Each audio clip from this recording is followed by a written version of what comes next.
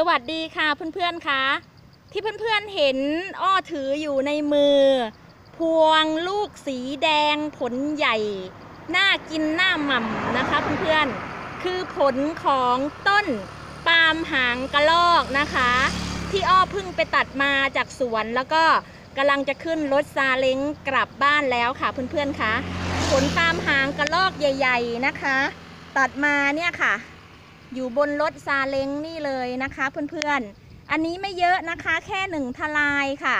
มันก็จะทยอยเอ่อเอ่อสุกไปทีละหนึ่งทลายสองทลายค่ะเพื่อนๆ ผลใหญ่ๆ โตๆ แบบนี้เลยนะคะ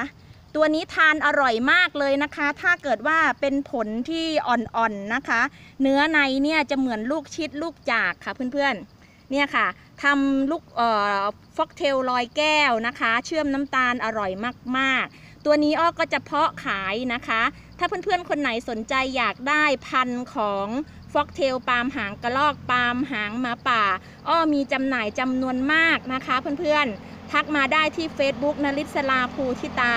เบอร์โทร 0876069955 ID Line A U N G S A R A